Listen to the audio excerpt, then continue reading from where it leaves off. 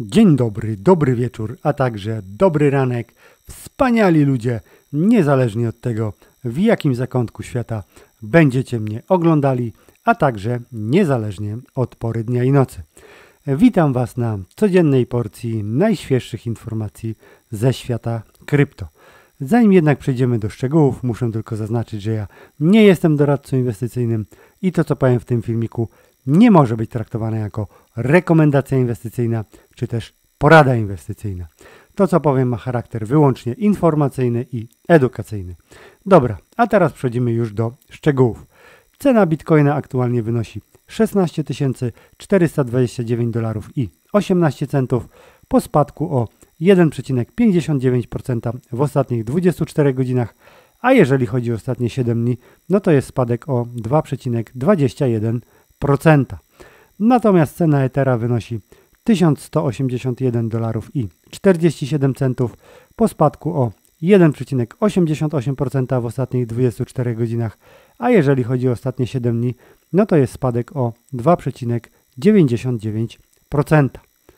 Indeks Free Grid wynosi dzisiaj 20 punktów, jest na takim samym poziomie jak wczoraj i cały czas przebywamy w obszarze ekstremalnego strachu. Jak spojrzymy na kryptobomble, no to widzimy, że tutaj zdecydowaną przewagę mają tokeny spadające. No i jeżeli chodzi o te tokeny spadające, to yy, prym wiedzie tutaj Leo, czyli Unus Sed Leo ze spadkiem o 8,2%. Na drugim miejscu jest Airwave ze spadkiem o 7%, a na trzecim miejscu jest Synthetics ze spadkiem o 6,9%.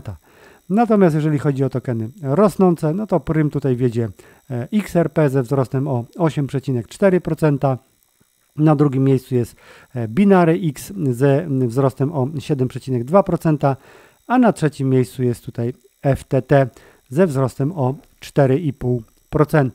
A teraz przechodzimy już do informacji. No i pierwsza informacja jest taka, że MetaMask zacznie kolekcjonować wrażliwe dane, w tym adresy IP i adresy portfeli e, Ethereum użytkowników.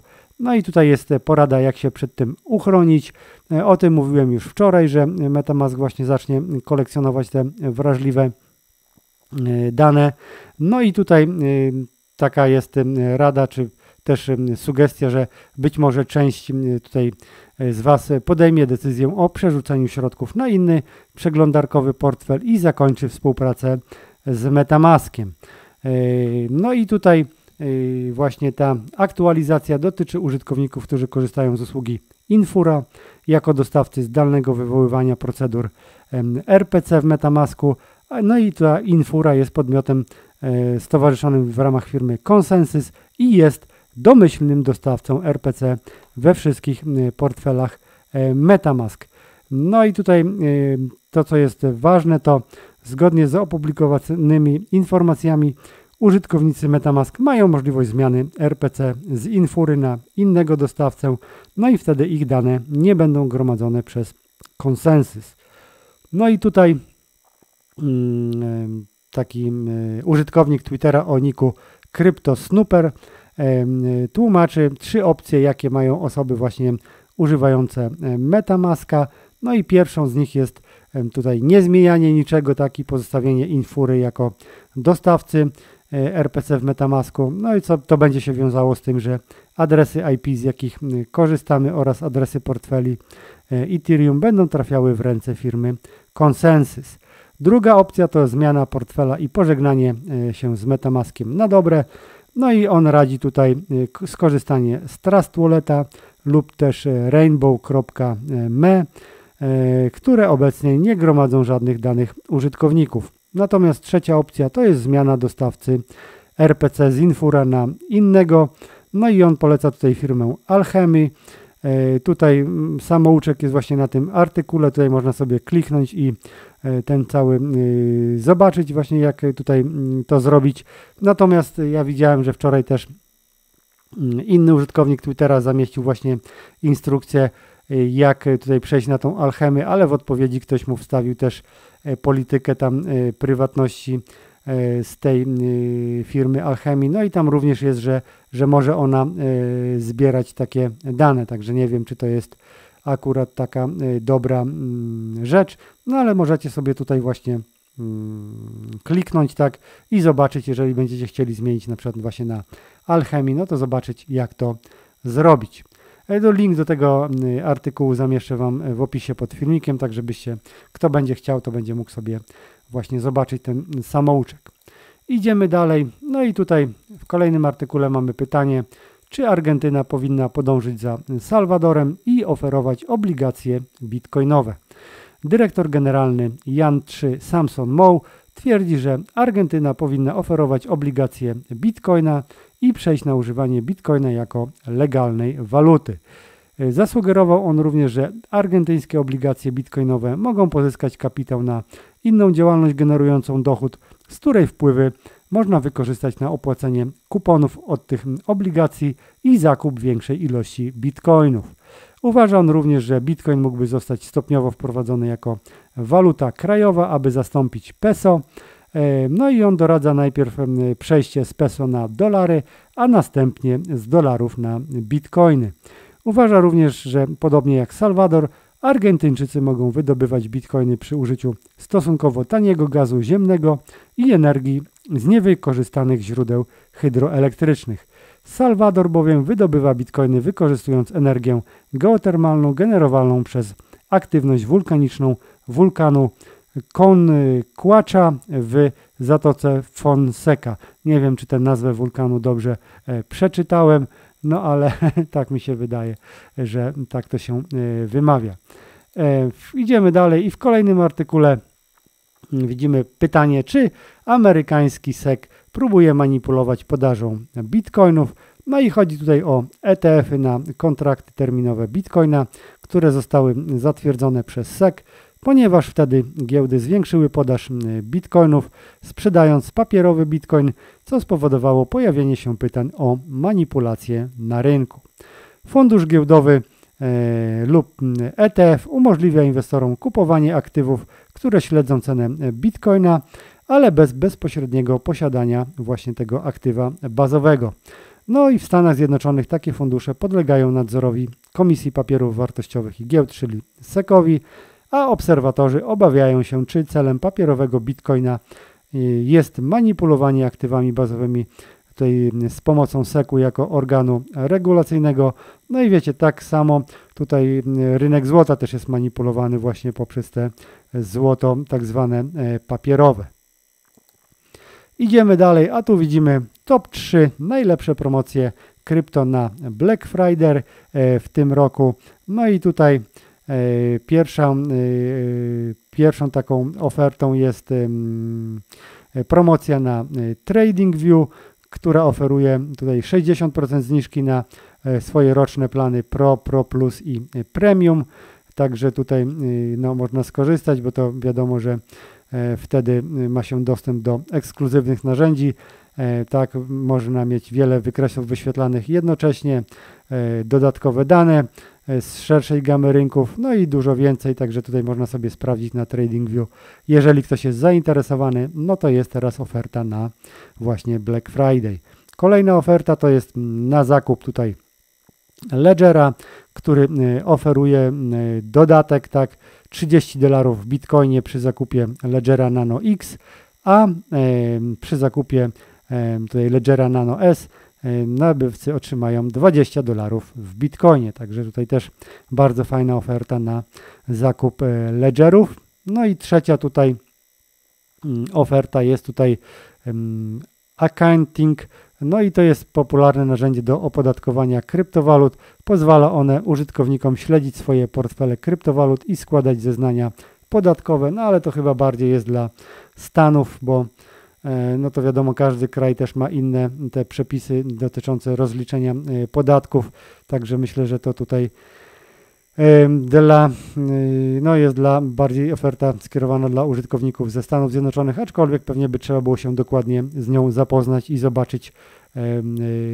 no, jak tutaj dokładnie to wygląda. Natomiast te pierwsze dwie oferty, skorzystanie właśnie z tej promocji na TradingView albo przy zakupie Ledgera, no myślę, że są bardzo fajne. Idziemy dalej i tutaj widzimy, jak gospodarka i rząd popychają nas od fiatów do bitcoina. No i tutaj właśnie widzimy, że upadła gospodarka i kontrole rządów zmuszają ludzi do porzucania walut fiat, no i przejścia właśnie w tutaj w stronę Bitcoina, no bo właśnie coraz więcej tutaj widzimy, że mm, tych no, jest takich ograniczeń tak i kontroli, jeżeli chodzi o te waluty fiat. Natomiast no, też dużo walut fiat tutaj upada e, albo walczy z bardzo dużą inflacją, no, co powoduje właśnie no, z, zubożenie obywateli, którzy przetrzymują oszczędności właśnie w tych walutach fiat. Ja tutaj jeszcze Wam powiem, że teraz też właśnie nie wiem, czy to ten, ale jeżeli chodzi o te karty, nawet plastikowe, to ja ostatnio yy, widziałem, że mm, tutaj jeden z polskich banków, nie wiem czy, czy ja widziałem przy jednym polskim banku, ale może jest to już w wielu polskich bankach, że od nowego roku no już nie będą wydawane karty te, wiecie, plastikowe takie, te debetowe, tak, do konta bankowego, tylko już będą karty wirtualne, Także no już prawdopodobnie nie będzie można, znaczy oczywiście za jakiś czas, no bo te karty, które są wydane, no to one mają jakiś okres ważności, także e, również tutaj będzie już ciężko wypłacić gotówkę z bankomatów, no i wszystko idzie w tą e, stronę, e, że ograniczenia gotówki, no i tu wszyscy się szykują na te wprowadzenie CBDC. Dobra, idziemy dalej, no i widzimy, że 10 tysięcy bitcoinów z czasów MT Goxa zaczęło się e, poruszać. E, są to bitcoiny o wartości 167 milionów dolarów. No i właśnie ten zidentyfikowany portfel jest powiązany z giełdą MT Gox. Także tutaj mm, tak to właśnie tutaj no tak się dzieje. Idziemy dalej, a tutaj widzimy, że Warren Buffett posiada akcję Coca-Cola od ponad 34 lat. No i tutaj y, nie zamierza ich y, sprzedawać. Tutaj jest właśnie bardzo ciekawa historia, jeżeli chodzi o Coca-Colę. No, to nie jest związane e, z kryptowalutami, ale bardzo ciekawa jest, że jest ze względów takich inwestycyjnych. No i widzimy, że Coca-Cola e, Company w momencie debiutu w 1965 roku na nowojorskiej giełdzie posiadała kapitalizację tak, o wysokości 8 e, milionów 300 tysięcy dolarów. Obecnie jest wyceniana na 700 miliardów dolarów, co oznacza wzrost o, uwaga, słuchajcie dobrze, 10 milionów procent. Natomiast Berkshire Hathaway, czyli Warrena Buffetta, po raz pierwszy zaczął kupować akcję e, Coca-Coli w 1988 roku i od tego czasu kontynuuje gromadzenie E, akcji. E, wtedy, kiedy on zaczął kupować, to akcje Coca-Coli kosztowały e, kilka dolarów za sztukę, więc no, obecnie ma ogromny zysk na tej firmie. No i również Coca-Cola wypłaca dywidendę w wysokości 44 centów co kwartał, więc tutaj no, firma Berkshire Hathaway kasuje prawie miliard dolarów rocznie w postaci dywidendy.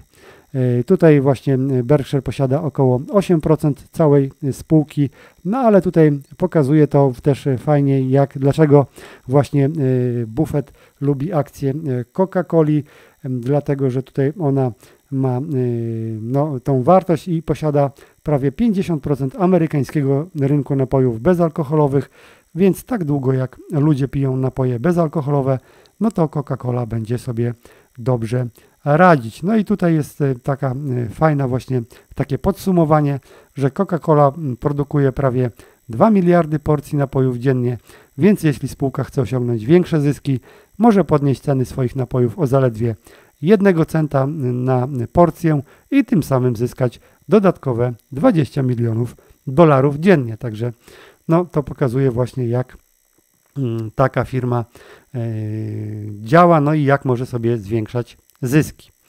W kolejnej tutaj artykule widzimy, że Apple i Google opodatkowały internet, a Elon Musk i Twitter chce iść na wojnę e, z gigantami. No i tutaj mm, chodzi właśnie o to, że e, Google i Apple poprzez właśnie Google Store i Apple Store pobierają około 30% za sprzedaż tutaj aplikacji mobilnych właśnie przez te sklepy. No i tutaj jak Elon Musk napisał, jest to ukryty 30% podatek od internetu. No i to według niego jest nieetyczne, ponieważ te firmy tworzą na rynku duopol.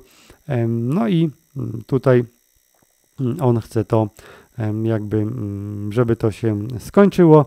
Natomiast tutaj w odpowiedzi e, otrzymał zapytanie, czym była ta e, jego oferta. Tutaj jeżeli chodzi o tą weryfikację konta, która miała kosztować użytkowników 8 dolarów miesięcznie za samo potwierdzenie swojej tożsamości.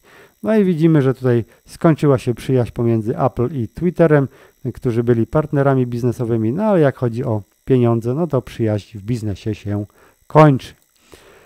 A tutaj widzimy nowy typ oszustwa się pojawił, a mianowicie portfele papierowe z bitcoinami są rozrzucane na ulicach, no i to dzieje się na e, terenie Australii, no a użytkownik, który e, właśnie weźmie taki portfel tak w nadziei, że tutaj e, sobie odzyska bitcoiny, no i zeskanuje kod QR tego portfela, przekierowywany jest na złośliwą stronę, gdzie E, oprawcy czy też oszuści proszą go o dokonanie wpłaty oraz podanie danych na temat własnego portfela, aby odblokować dostęp do znalezionych zasobów. No i oczywiście jak ktoś poda dane dotyczące własnego portfela, no to zamiast bitcoinów, które znalazł, znikną mu bitcoiny z jego własnego portfela. Także oszuści mają coraz nowe tutaj pomysły na to, żeby e, no, od kogoś, od ludzi wyciągnąć kryptowaluty. W kolejnym artykule czytamy, że model matematyczny przewiduje, że Bitcoin osiągnie dno na poziomie 14 500 dolarów. No i tutaj mm, dokładnie nie jest w zasadzie opisane, na czym bazuje jakby ten cały model, no ale tak tutaj e, obliczyli, tam e, biorą mm, też pod uwagę właśnie e, analizę techniczną, no i tak obliczyli, że dołek Bitcoina będzie na 14 2,5 tysiąca dolarów. Natomiast Genesis może być zadłużone na 2 miliardy 800 milionów dolarów. No i tutaj mm, wielu analityków spekuluje obecnie, że domino upadłości dopiero się rozkręca i w najbliższym czasie zobaczymy na rynku e, kolejne tutaj tragedie. E, no i e, widzimy również, że właśnie w jednym z najnowszych raportów agencji Bloomberg poinformowano o finansowych kłopotach e, właśnie tej platformy. Firma ma być zadłużona na tutaj 2 miliardy 800 milionów dolarów. No i chodzi tutaj konkretnie o niespłacone pożyczki. No i aktualnie wydaje się, że bankructwo firmy może nadejść w obliczu braku nowych funduszy, więc Genesis tutaj powinno szukać tych właśnie e, funduszy za wszelką cenę.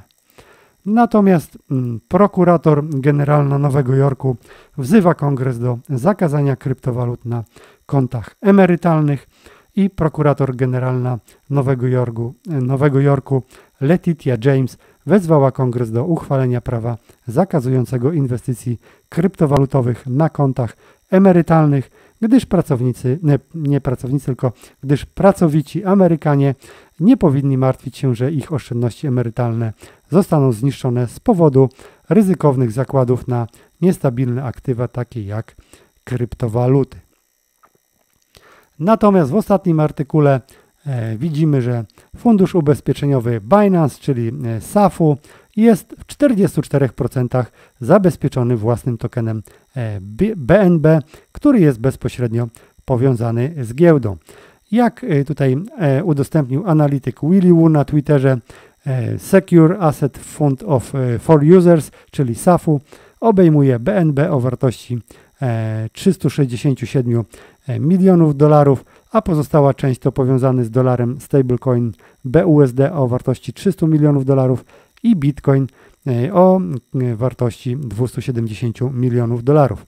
No i Willy Wu uznał zależność Binance'a od BNB e, tutaj w, tej rezerwie za bardzo niepokojącą. Natomiast no to jest ciekawe, bo Changpeng Zhao, czyli prezes czy też dyrektor generalny Binance'a, no sam mówił właśnie, jeżeli chodzi na przykład o giełdę FTX, że te fundusze ubezpieczeniowe, czy też nie powinny być oparte o właśnie token giełdy. No a tu widać, że sam Binance ma ten właśnie taki fundusz oparty w 44% o właśnie token giełdowy BNB. Także to wszystko, co miałem do przekazania Wam w dzisiejszym materiale. Dziękuję bardzo za jego oglądnięcie i wysłuchanie. No i do usłyszenia w kolejnych filmikach. Trzymajcie się. Cześć!